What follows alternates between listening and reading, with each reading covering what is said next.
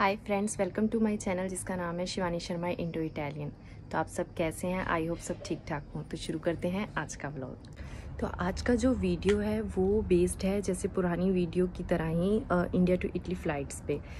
काफ़ी लोग मुझे कमेंट करके और मैसेज करके पूछ रहे हैं इन्फॉर्मेशन चाहते हैं। वो हमारे काफ़ी सारे भाई बहन जो इटली से इंडिया जाके फंस गए हैं तो वो किसी ना किसी तरीके से जैसे इन्फॉर्मेशन चाहते हैं। तो वो मैंने एक जैसे लिस्ट बनाया है, जो जो सवाल वो मुझसे पूछ रहे हैं तो ये सारा वीडियो उस पर बेस्ड है। अब मैं बारी बारी सबका आंसर दूँगी।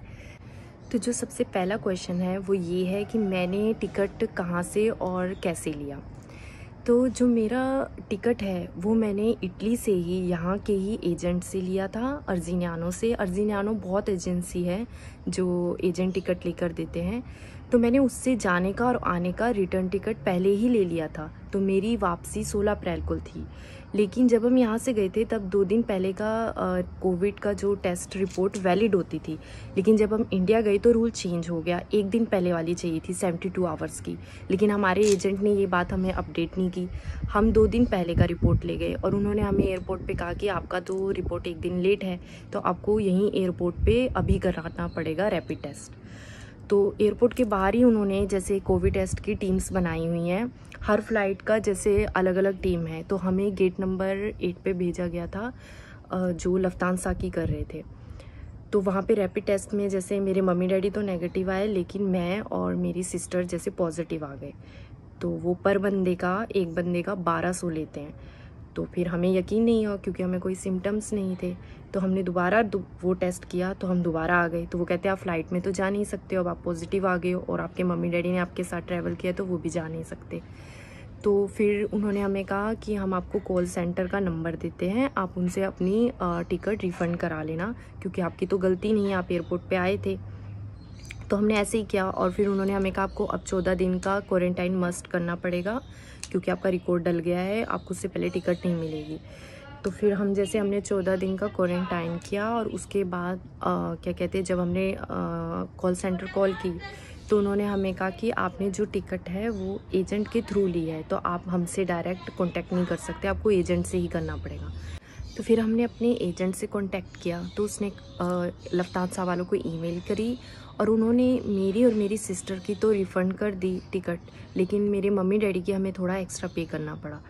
तो उसके बाद जैसे क्वारंटाइन के बाद जब हमने टिकट ली मई की तो तब तक जैसे फ़्लाइट्स पे बैन लग चुका था। तो हमारी टिकट कैंसिल हो गई। उन्होंने उसी टिकट को आगे पोस्टपोन करके हमें जून की टिकट दी, दो जून की। वो भी कैंसिल हो गई। उन्होंने उसी को आगे पोस्टपोन करके हमें पहली जुलाई की दी, वो भी कैंसिल होगी फिर उन्होंने उसी टिकट को एक्सटेंड करके हमें ट्वेंटी जुलाई दी, जो कि फाइनली मतलब वो उड़ी। तो फाइनली जैसे फिर उसी टिकट से मतलब हमने कोई नया टिकट वहाँ जाके इंडिया में नहीं ख़रीदा। हमारी जो यहीं की रिटर्न टिकट थी, उसी को उन्होंने आगे से आगे आगे से आगे पोस्टपोन करते करते उसी से ही हम वापस आए हैं। तो ऐसे मतलब टिकट की ये मेरी कहानी है। तो दूसरा सवाल जो है, दूसरा सवाल ये है कि कौन सी एयरलाइन सेफ़ है या कैसे मतलब जाना सेफ़ है? तो इस टाइम तो सिर्फ़ तीन एयरलाइन जो कि डायरेक्ट चल रही हैं, वो है लफ्तानसा के और एयर फ्रांस वो भी हफ़्ते में कोई एक या दो कोई चल रही हैं और उसमें भी जो नेशनलिटी होल्डर हैं रेड पासपोर्ट है वो ही जा रहे हैं या जिनके पास काफ़ी देर का रेजिडेंस है।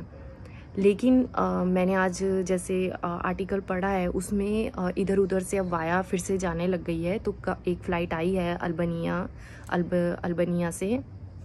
तो वो पहले अल्बनिया आपको लेके जाएगी इटली के पास ही एक शहर है जिसका नाम है अल्बनिया। तो वो वहाँ पर जैसे आपको पहले होटल में क्वारंटाइन करेंगे उसके बाद इटली आपको भी आपको क्वारंटाइन होना है। तो मतलब अब फ़्लाइट चल तो रही हैं इधर उधर से ये है कि फिर आपकी दो तीन स्टे होगी थोड़ा आपको टाइम लंबा पड़ेगा। तो जो लोग फंसे हैं वो आ, मतलब ऐसे इधर उधर से अब स्टार्ट हो तो रहा है लेकिन जो डायरेक्ट फ़्लाइट है वो यही तीन है। और दूसरा ये है जो इटली का फॉरेन मिनिस्टर है, उसने इसको जो बैन था, इसको एक्सटेंड करके अब थर्टी फ़र्स्ट अगस्त तक कर दिया है। अभी तक जो इनका नॉर्मल शेड्यूल चलता था फ़्लाइट्स का, वो अभी तक नहीं ओपन हुआ है। इटली अभी भी अपने उस पर ही स्ट्रिक्ट है। तो थर्टी फ़र्स्ट के बाद मे बी वो कुछ रूल्स बनाए मे बी कुछ फ़्लाइट्स खुल जाएँ। अब जो इंडियन अम्बेसी है, यहाँ मिलान में वहाँ लोग जाके आक्रोश तो कर रहे हैं इस चीज़ पर, जैसे मुद्दा बन रहा है तो मे भी शायद गवर्नमेंट कुछ डिसाइड कर ले अगस्त के बाद। और ये जो तीनों एयरलाइंस चल रही हैं लफ्तानसा के और एयर फ्रांस ये दिल्ली से बेंगलोर से चेन्नई से और मुंबई से चल रही हैं। और दूसरा ये जो बैन है, ये बैन लगा हुआ है ब्राज़ील पे बांग्लादेश श्रीलंका और इंडिया पर। अब ये सब तो था फ़्लाइट से रिलेटेड इन्फॉर्मेशन अब यहाँ पहुँच कर काफ़ी लोग मुझसे पूछ रहे हैं कि कोविड होटल में भी आपको क्वारंटाइन करेंगे ही करेंगे, अभी भी ये सिस्टम चल रहा है। तो हर सिटी का अलग अलग है जैसे मैं विरोना उतरी थी तो विरोना इनका ये सिस्टम है कि अगर एयरपोर्ट पे जब वो आपका कोविड टेस्ट करते हैं, अगर आप नेगेटिव आ रहे हो तो वो आपको घर का क्वारंटाइन कहते हैं और वो भी दस दिन का। और अगर आप पॉजिटिव आते हो तो रोम में उन्होंने एक कोविड होटल बनाया हुआ है। वो आपको वहाँ छोड़ के आते हैं। आपको वो दस दिन का क्वारंटाइन वहाँ करना है। और दस दिन के बाद वो फिर से आपका कोविड टेस्ट करेंगे। अगर आपके सिम्टम्स अभी भी हैं तो वो उसको आगे से आगे एक्सटेंड करते रहते हैं। अब ये हर सिटी का अपना है। कई, चाहे नेगेटिव भी हो पॉजिटिव हो, वो आपको क्वारंटाइन होटल में करेंगे ही करेंगे। तो अब हाँ विरोना का तो ये सिस्टम है। अब जो बैरगम उतरते हैं ब्रेशिया उतरते हैं हर सिटी का, जैसे अपना अपना उन्होंने रूल बनाया हुआ है। और दूसरा अब ये है कि जब आप एयरपोर्ट पे उतरते हो, आपका कोविड टेस्ट होता है, वो रिपोर्ट बहुत ज़्यादा ज़रूरी है। वो जो आपको रिपोर्ट वहाँ पे देंगे, वो खुद भी उसको फ़ोटो कॉपी करके रखते हैं, क्योंकि वो आपका रिकॉर्ड है और वो आपको देते हैं और आपको समझाते हैं कि आपने अब इस रिपोर्ट का क्या करना है। तो आपने घर आते ही सबसे पहले ऊ एल एस एस उल्स नाइन हमारा जैसे हर सिटी का अपना होता है, हमारा नाइन है तो उल्स नाइन पर ओ एल एस एस पे नाइन पर आपको रजिस्ट्रेशन करनी है और वो जो आपकी रिपोर्ट है, वो अटैच करनी है और ये जो रिपोर्ट है, ये फॉरेन मिनिस्टर को जाएगी। तो ये बहुत ज़्यादा ज़रूरी है। जब भी आप घर आओगे तो आपको ये यहाँ पर रजिस्ट्रेशन करना है। जितने भी बन मतलब जैसे चार जाने हैं तो चारों का अलग अलग आपका रजिस्ट्रेशन होगा। दूसरा स्टेप इसके बाद क्या है कि आपको ये करने के बाद उसी दिन, जिस दिन आप वापस आए, ये सब आपको उसी दिन करना और ज़रूर करना है। तो दूसरा स्टेप आपको ये करना है कि अपने डॉक्टर को आपको जो आपका फैमिली डॉक्टर है, जिससे आपका कार्ड बना हुआ है, आपको उसको कॉल करना है और उसको बताना है कि ऐसे मैं इंडिया से आया हूँ तो फिर वो आपको एक मेडिकल सर्टिफिकेट बनाए, बना कर देगा, जो आप अपने जॉब पे दे सकते हो या जहाँ पर भी वो आप भेज सकते हो एज अ प्रूफ कि आप, अब जैसे इतने से इतने दिन तक आप क्वारंटाइन हो गए, आप इतनी तारीख को यहाँ पहुँचे हो। तो वो करना भी बहुत ज़रूरी है।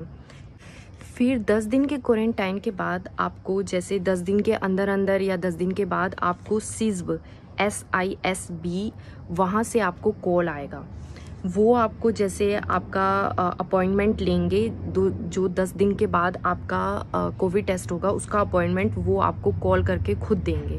तो जो आप नंबर एयरपोर्ट पे जब आपका कोविड टेस्ट होता है, वो हर बंदे का एक फॉर्म भरते हैं वहाँ पर और वहाँ पे आपसे नंबर लेते हैं। तो नंबर बहुत ध्यान से देना क्योंकि उसी पर ये कॉल आता है, जैसे तो जैसे अब हमारे वो किसी भी एक बंदे को फ़ोन करके और सबकी अपॉइंटमेंट दे देते हैं। तो हमें जैसे हमारे डैडी के फ़ोन पे फ़ोन आया था तो फिर उन्होंने हमें खुद से ही, जो ग्यारहवा दिन था हमारा, उसकी हमें, उन्होंने खुद से ही अपॉइंटमेंट दे दी थी। और ये फ्री होता है, ये जो कोविड टेस्ट एयरपोर्ट पे भी होता है और जो क्वारंटाइन के बाद होता है, ये सब फ्री होता है।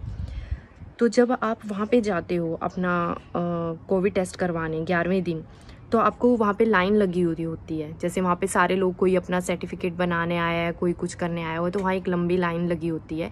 तो आपको वेट करने का कोई ज़रूरत नहीं है। आप सीधा अपने टाइम पे जाओ और जो काउंटर है उस पर जाके उसको बताओ भी हमारा आज का अपॉइंटमेंट है। वो चेक करेगी और ऑब्वियसली वो गवर्नमेंट ने अपने आप ही ऑलरेडी उनको भेजा हुआ था तो आपको लाइन में लग के इतना वेट करने की ज़रूरत नहीं है। आपका सीधा जितने बजे का अपॉइंटमेंट है, आप सीधा जाओ, वो आपका उसी वक्त कोविड टेस्ट करते हैं और वो 48 आवर्स में आपका जो रिपोर्ट है, वो आपके डॉक्टर को भेज दिया जाता है। फिर आपका डॉक्टर आपको जैसे खुद फ़ोन करता है या वो आपसे खुद कॉन्टैक्ट करता है कि भी आपकी रिपोर्ट नेगेटिव है या पॉजिटिव है।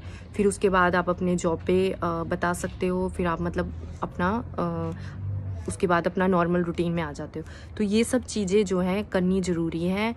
नहीं तो आपको जैसे जब हमको ये चीज़ से फ़ोन आया था तो उन्होंने हमें बोला, सब कुछ समझाई इंस्ट्रक्शन दी कि अब आपने बिल्कुल बाहर नहीं निकलना है।